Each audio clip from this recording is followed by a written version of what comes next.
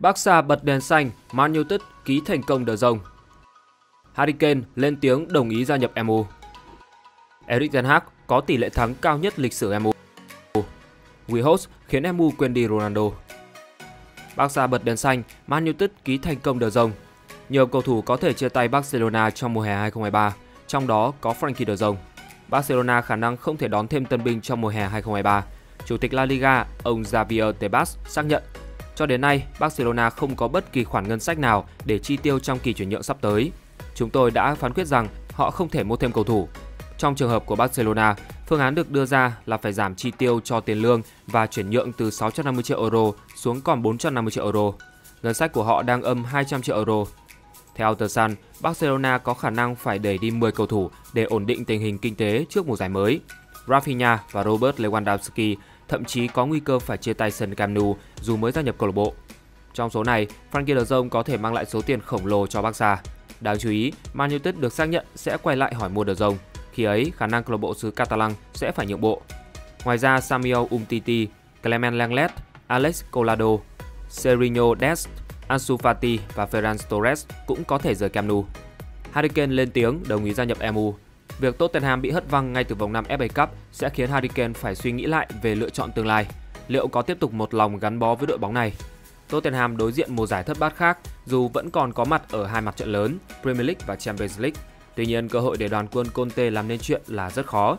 Gà chống London để thua AC Milan 0-1 lượt đi vào 16 đội cúp C1 và tuy đang tạm xếp thứ tư Premier League nhưng không chắc liệu họ có thể giữ vé tham dự Champions League mùa sau.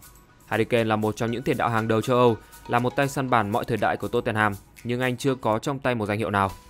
MU đang đưa Harry Kane vào danh sách rút gọn một lần nữa. Harry Kane đang xem xét nghiêm túc khả năng chia tay Spurs ở mùa hè 2023. MU là đội bóng muốn có cầu thủ sinh năm 1993. màn đỏ chấp nhận chi 100 triệu euro cho thương vụ này. Chelsea, Bayern Munich và Real Madrid cũng nhắm tới. Thời gian ngắn trước, đội trưởng tuyển Anh mở cửa đàm phán gia hạn Tottenham, nhưng giờ đây có thông tin anh sẽ phải cân nhắc lại trước khi quá trễ 30 tuổi vào tháng 7 tới để làm sự thay đổi. Erik ten Hag có tỷ lệ thắng cao nhất lịch sử MU. Erik ten Hag đang gây sốt với một con số thống kê mới giúp MU bay cao ngay trong mùa giải đầu tiên đến sân đấu Frankfurt. MU đang chơi rất tưng bừng, máu lửa và đạt hiệu quả cao. Đó là nhờ sự tài tình của Erik ten Hag. Không chỉ hay về chiến thuật mà còn cho thấy một nhà quản lý độc đáo. Từ một quỷ đỏ yếu đuối thời hậu Sir Alex, Erik ten Hag đã hoàn toàn thay đổi tâm lý các cầu thủ, giúp họ trở nên tự tin hơn vào bản thân kết nối tốt cùng đồng đội và chiến đấu đến cùng, không từ bỏ. Về mặt chiến thuật, cựu thuyền trưởng Ajax dùng người cực kỳ hiệu quả, thêm các bản hợp đồng mới như Casemiro, Lisandro Martinez mang đến tâm lý chiến thắng, sự máu lửa của kỳ đỏ cần có trong vòng tay đồ. Theo thống kê, Erik ten Hag là huấn luyện viên có tỷ lệ chiến thắng cao nhất trong lịch sử MU với 73,2%. Điều đáng chú ý, trong 19 trận sân nhà đã chơi gần đây, họ thắng tới 17 và hòa 2.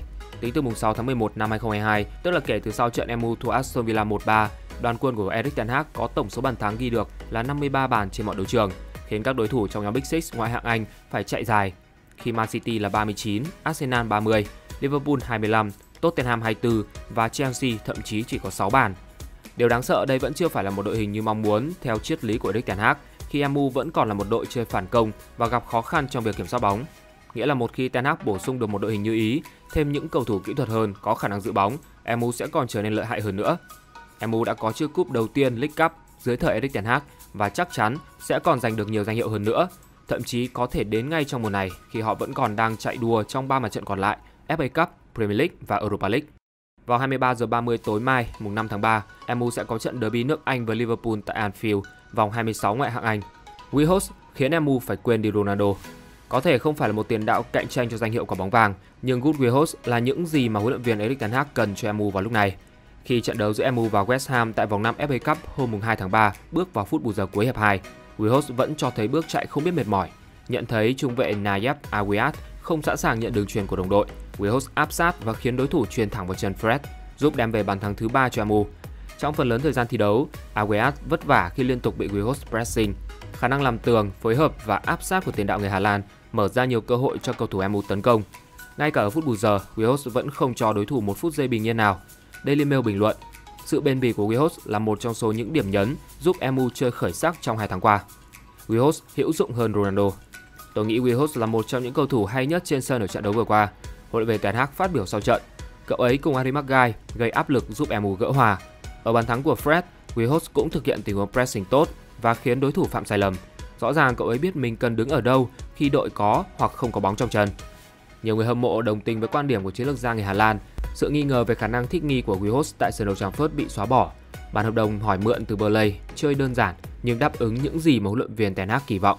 Nên nhớ, Quihos là thương vụ chữa cháy để lấp vị trí của Cristiano Ronaldo, vua phá lưới của MU mùa giải 2021-2022 với 24 bàn.